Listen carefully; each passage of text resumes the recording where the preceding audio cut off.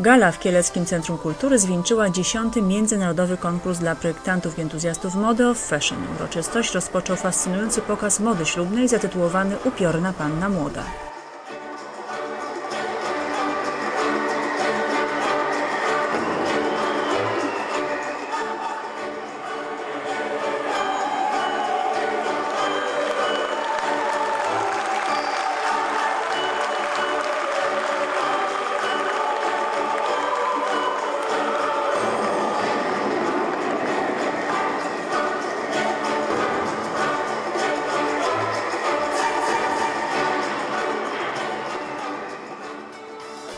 Kielecka publiczność mogła także z okazji jubileuszu przypomnieć sobie laureatów poprzednich edycji organizowanego od pięciu lat konkursu.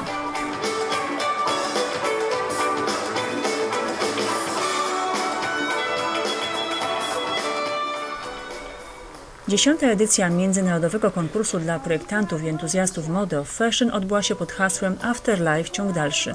Była poświęcona przemijaniu. Koncert finałowy poprowadziła Dorota Wróblewska. Publiczność obejrzała kolekcję 20 projektantów zakwalifikowanych do finału. Podczas pokazów konkursowych wyłoniło ich jury, w skład którego weszli styliści, projektanci oraz dziennikarze piszący o modzie.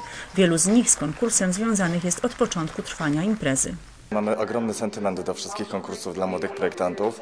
My sami swego czasu, to tak naprawdę całkiem niedawno, braliśmy e, namiętnie udział we wszystkich możliwych konkursach i dzisiaj z perspektywy czasu wiemy, że strasznie nas to rozwinęło. Każdy konkurs, czy ten wielki, czy ten malutki, e, dawał nam nową energię i przecież w wielu konkursach nie zdobywaliśmy nagród, a mimo to ch chcieliśmy coś robić dalej. Każda kolejna kolekcja, każdy kolejny konkurs był kolejnym wyzwaniem i my traktowaliśmy to jako kolejny krok do przodu.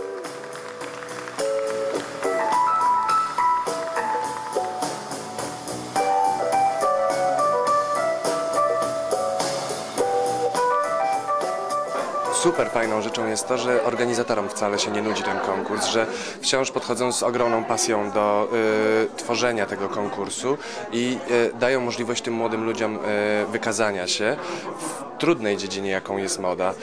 Y, nie podchodzą rutynowo do, do, do tego konkursu i myślę, że to jest godne bardzo y, pochwały i, i zauważenia. Karolina Gronicka.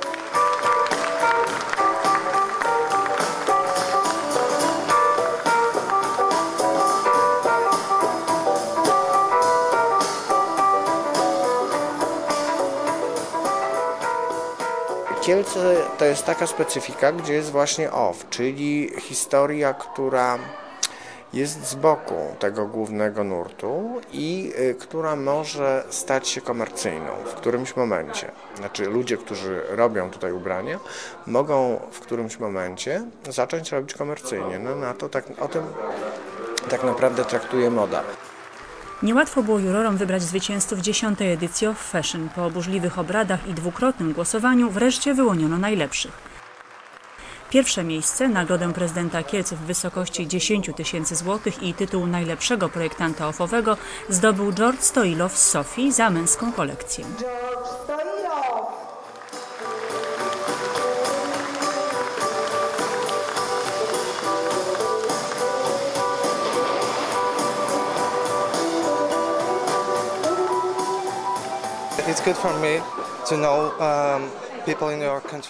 Cieszę się, że ludziom w waszym kraju podoba się moja pasja oraz sposób kreowania i ubierania postaci. Jestem bardzo szczęśliwy. Dziękuję. Nikolaj Bożilow, także z Bułgarii, otrzymał drugą nagrodę i czek na 5 tysięcy złotych za damską kolekcję szarych sukienek. Przyznano mu także wyróżnienie jurorów konkursu duetu Paprocki-Brzozowski oraz Mariusza Przybylskiego.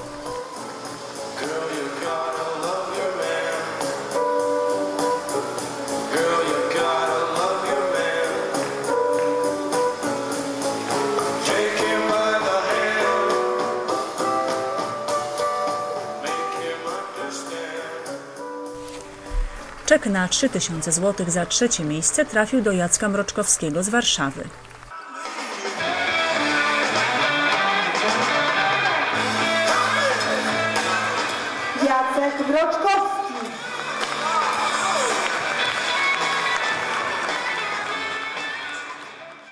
Były także inne nagrody. Statuetkę Hexa Talent od firmy Hexaline otrzymała Aneta Zielińska. Biżuterię z pereł odebrała z rąk Anety Parlak kielczanka Magdalena Stępnik-Kozłowska. Tradycyjnie już dyrektor Kieleckiego Centrum Kultury Magdalena Kusztal przyznała statuetki Przyjaciela of Fashion. Tym razem trafiły one do dziennikarek Radia Kielce i Echa Dnia.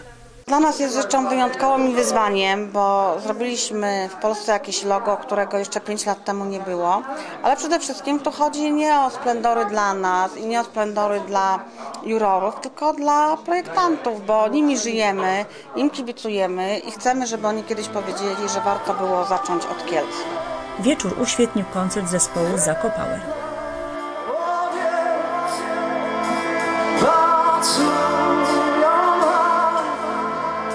Try